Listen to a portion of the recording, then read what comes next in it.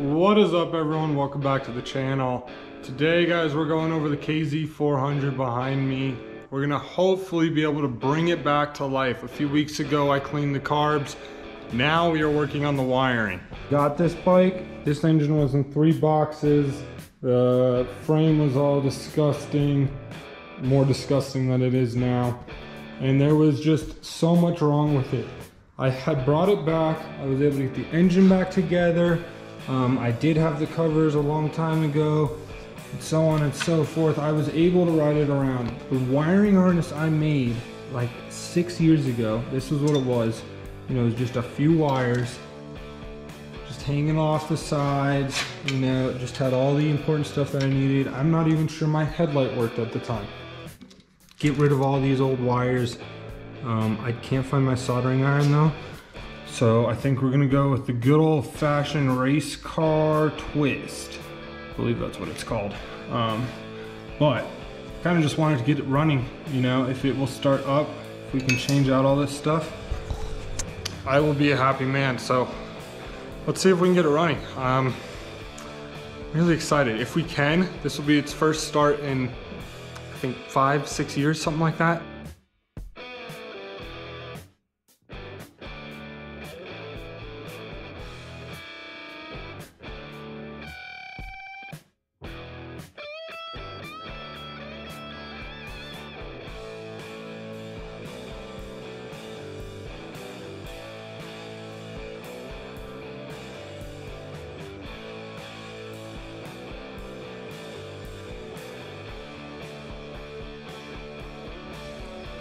Just gonna take about an inch of this off here.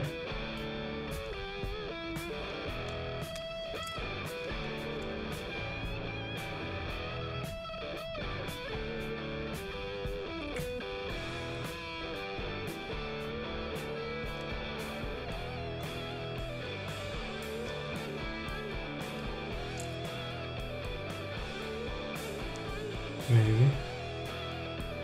Can't find my wire strippers. I can't find my soldering iron. It just moved, so it's probably in some box.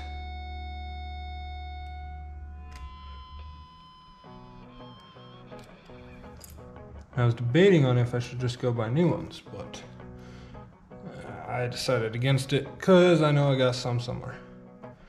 All right, so actually, let's take a little more of this off.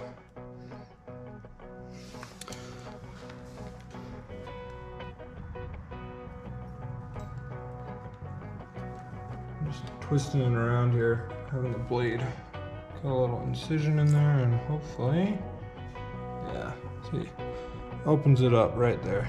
So, pull it off. Boom. All right. Twist that around. And we gotta do the same to this blue wire. But first, we need to cut this off. Boom. And then once again, gonna just roll it.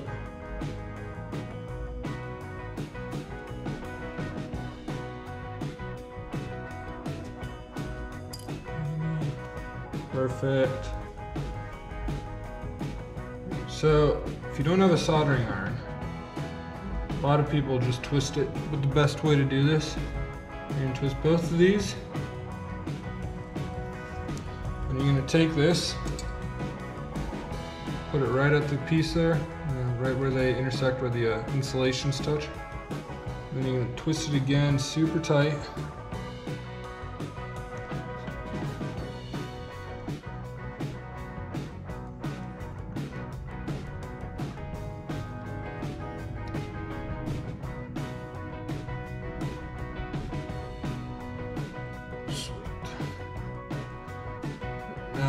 Super tight, a lot of people are just gonna fold this straight down. What you wanna do is bend it like that. You're gonna take it about halfway in the middle and bend it on itself. Boom. So now you got this little bend on the inside here. Just like that. Then what we're gonna do is we're gonna take it and we're gonna bend it the same way we just bent that last one. Squeeze it together. This is gonna look just like this. And then we're gonna take some heat shrink.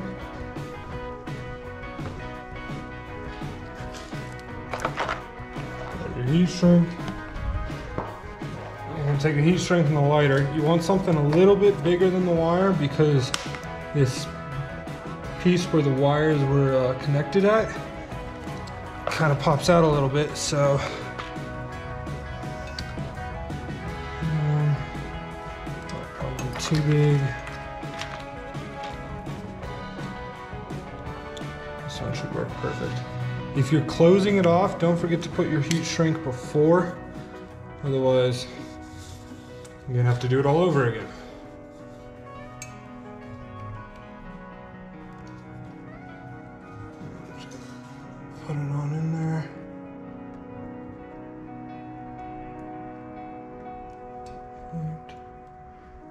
Sweet. All right, you want to right in the middle. Then you'll just take the lighter, just heat it up. Bigger. Perfect.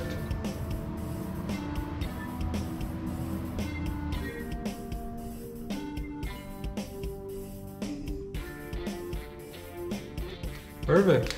All right. Perfect. This plugs in here, wherever it went. Okay, if this plugs in, then we can just, sweet. All right, so what we'll do, cut this. We'll just do that same thing we did before. That should give us enough for the wire.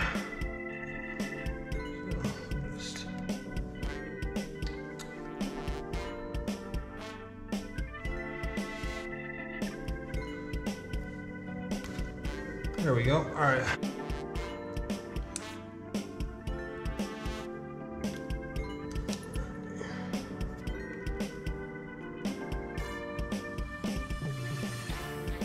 Okay, now we're gonna put this on so we don't forget like last time.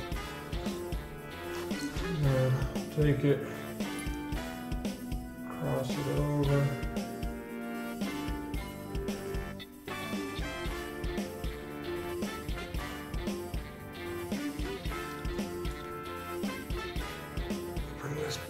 To it.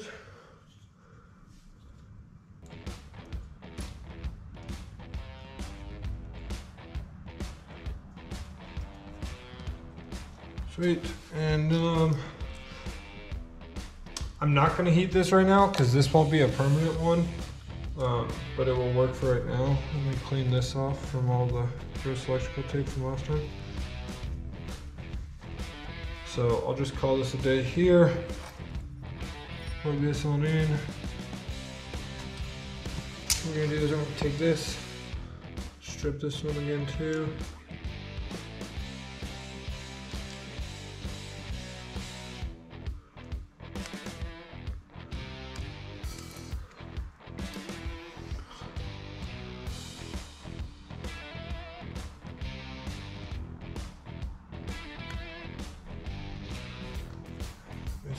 Little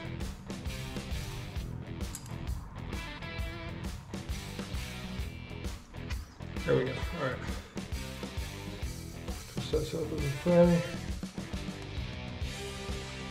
this is what I'm thinking. I think right now, let's just connect it straight to the positive, put the negative terminal on, and we'll check to see if we're getting any spark. And uh, we'll go from there. All right. Um, these two are both going to be going to our positive. This one doesn't have enough wire. So let's take some off this. There we go. All right. Now we got this. So twist these two together. And then let's smash it into here. Oh, Once we get the positive on, or the negative on.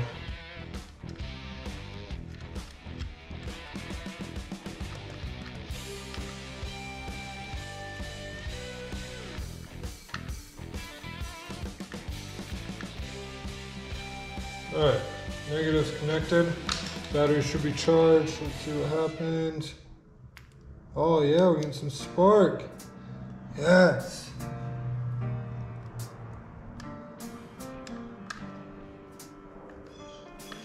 All right, that's it's in there a little bit. So if we get spark between that little gap there, then we know that I did something correct here. So go ahead and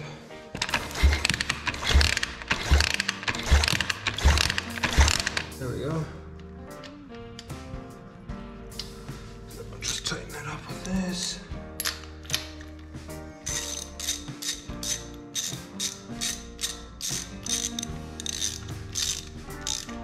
Perfect. Not too tight. It's a spark plug. Don't want to strip it. Let's give it a shot. Um, no. Sure.